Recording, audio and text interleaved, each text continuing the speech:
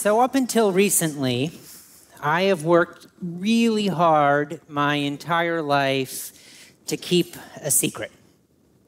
And the secret, more or less, is that I constantly am fighting a series of tics and twitches that I can't perfectly or even imperfectly control.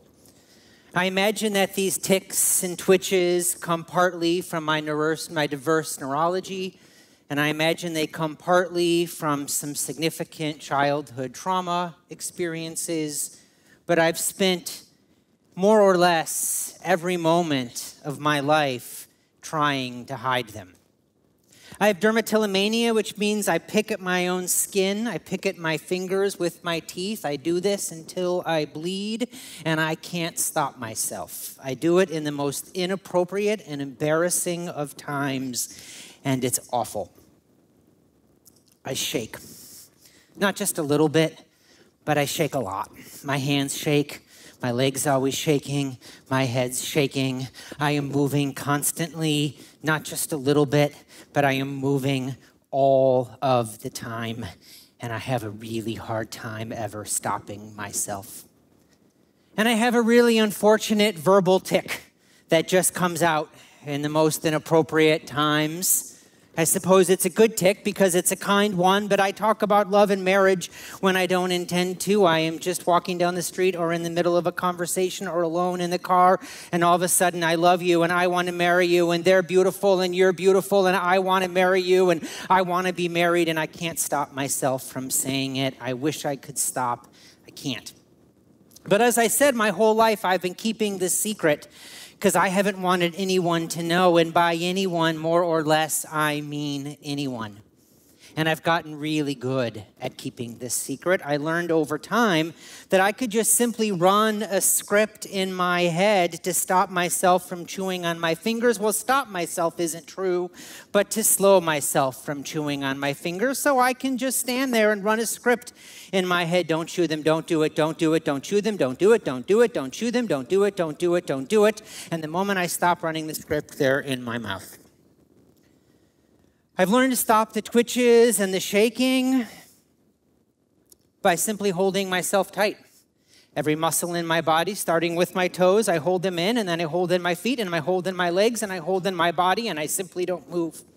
And I simply hold it all in, whether I'm sitting on the plane next to you for four straight hours, or whether we're in a business meeting, or whether I'm sitting on the couch. I am holding myself in, trying so hard not to shake, and telling myself not to chew my fingers. Don't chew your fingers, don't chew your fingers.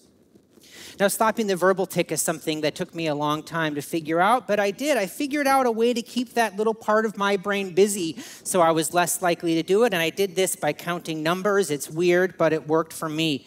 So, from a pretty young age, I'd learned that if I just started counting numbers, it would keep that part of my brain busy, and I got really good at it. So, I would take a number like 31, and I would just add it 31, 62, 93, 124, 155, 186, 217, 248, 279, 310, 341, 372, and it would keep that part of my brain busy, and I wouldn't do it, and that's all I would have to do. I would just have to hold myself incredibly tight all of the time and tell myself not to chew my fingers, not to chew my fingers, not to chew my fingers, and then just simply add a number in my my head, and I would come across and look perfectly normal, just like everybody else. But a huge part of my bandwidth at all time is being taken up in order to do this.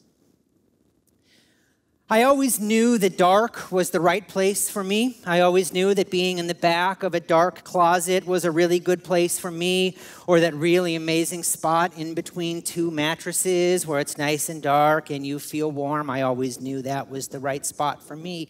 So, float tanks in many ways seem to make a lot of sense but it also made no sense at all because it's a completely inhospitable environment for someone like me. You can't be shaking in that water nonstop. And I was told that you have to be silent the entire time, which means I can't be talking out loud in my constant outdoor voice. And most important of all, I simply can't be taking my ripped apart, bleeding fingers and putting them in the salt water. But I wanted to go really bad. So, Float Center opened up in my town of Evanston, Illinois, and there's an absolutely amazing couple that opened it. Their names are Jillian and Marlon. It's a two tank float center. They also do massage there, and they curate those two float rooms like nothing else. Marlin cares so much, and I have a really special relationship with him that they don't even know that we have.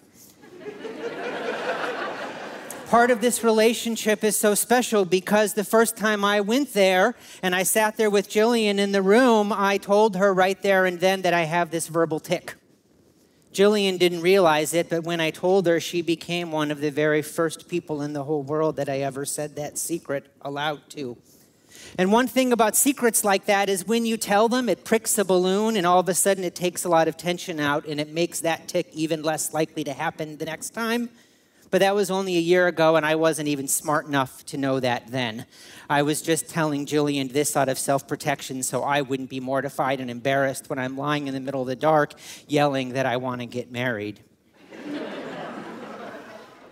what I found in the float center was everything that I had imagined. I found true dark, and true dark is really special.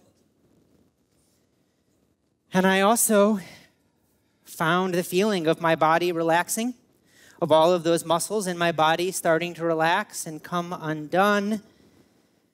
I did find the feeling of my fingers hurting, but the truth of that is it's a spectrum between 10 seconds and about three minutes before that pain is gone, and it's no problem. It's worth it.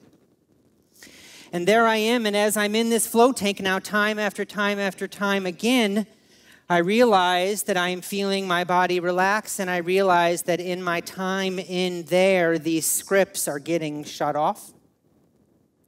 I'm not counting numbers. I'm not telling myself to stop chewing on my fingers. I'm not shaking. The water is still. Something's happening. I don't know what. But I'm finding slowly the tools to slow down. And I'm also learning that the secret to slowing these tics isn't in holding myself in, but is actually in letting myself go. So, what I found in the float tank was more or less my own thoughts without having my bandwidth entirely directed to adding numbers and holding myself in and telling myself what to do and what not to do, I started to open up bandwidth that I simply never had before and started to open up thinking that I never had before and really started to dramatically see the way I saw myself as different than I ever had before. So, importantly, what I found in the float tank was a far better way of starting to control my uncontrollable tics. But even more importantly, what I found in the float tank was permission to not have to control them at all. Thanks so much.